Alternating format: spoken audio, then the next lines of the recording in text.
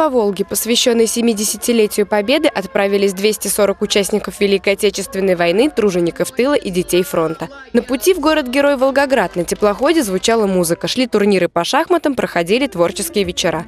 Ветеранов из промышленного района Самары медом не корми, дай спеть под баян. Валентина Ивановна Юдаева главная запевала. Когда началась война, ей было 7 лет. Наравне с мамой, заместителем председателя колхоза, выполняла сложную работу.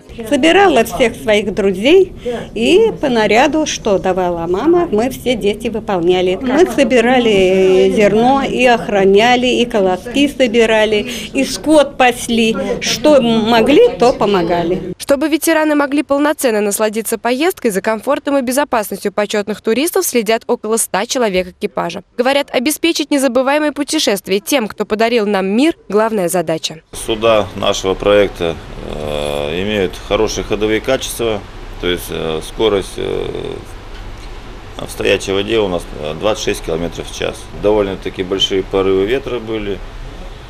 То есть, естественно, это влияет на маневренность судна, на движение. Ну, здесь у нас всегда квалифицированная вахта.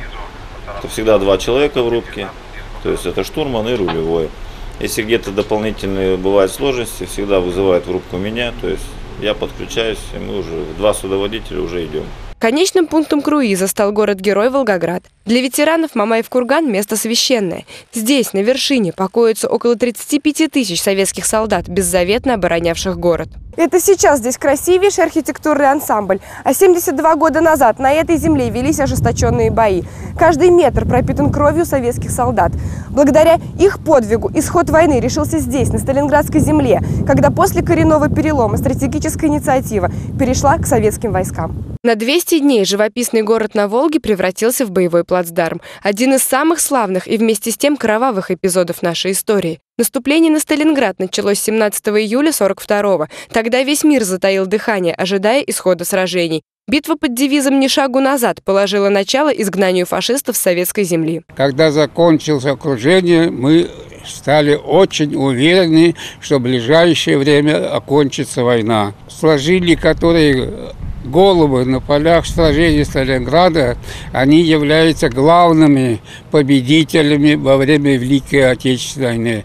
И они позволили нам вот 70 лет – праздновать этот День Победы и жить в мирных условиях. Сергея Сергеевича Алехина родина-мать позвала в бой, когда ему не было и 18. Вспоминает, Мамаев курган, по которому сегодня прогуливаются восторженные туристы, в годы войны звался высотой 102 и чуть ли не каждый день переходил из рук в руки.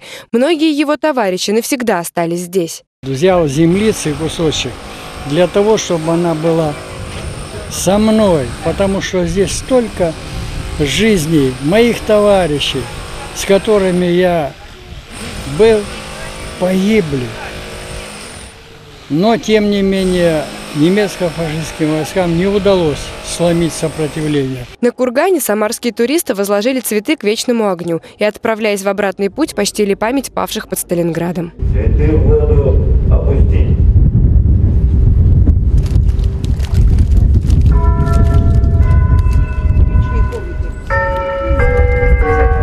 Долго провожая взглядом уплывающую вдаль родину мать, почетные туристы взяли курс на Самару.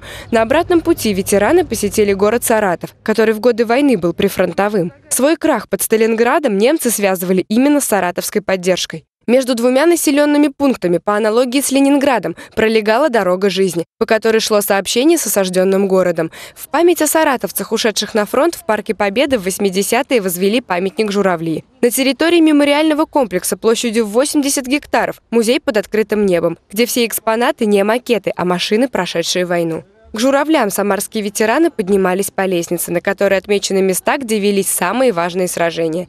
Владимир Николаевич Квартальнов впервые смотрит на Саратов с высоты птичьего полета. Война отняла у него детство. В 41-м ему было 5 лет. Тогда же потерял отца. В августе он погиб на фронте. Он отбыл на фронт и под Орлом вот, значит, погиб. Ну, бои тяжелые были, отступление, враг напирал. Ну, несколько писем с фронта мы получили все-таки. О чем были эти письма? Ну, письма о боях, ну, письма были бодрые. Значит, он поддерживал. На Саратовской земле ветераны отдали дань памяти павшим воинам и возложили к вечному огню цветы. Когда закончилась экскурсионная программа, вечером на теплоходе защитников Отечества ждал гала-концерт с участием самих туристов, к которому ветераны готовились весь круиз. В конце артисты получили памятные подарки.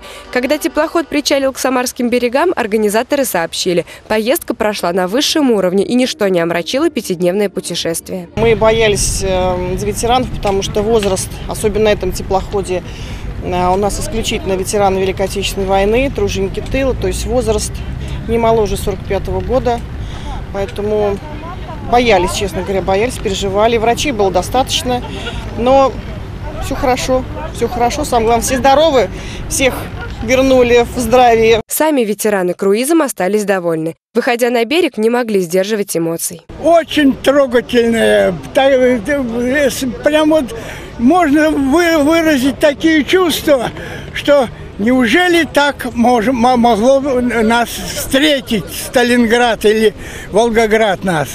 Очень хорошая поездка. Это останется на всю последнюю жизнь, которая осталась. Отличное впечатление. Как прекрасен этот мир. Следующий теплоход с ветеранами отправится в рейс в июне. На этот раз участники боевых действий, труженики тыла и дети фронта пойдут по Волге вверх до Перми.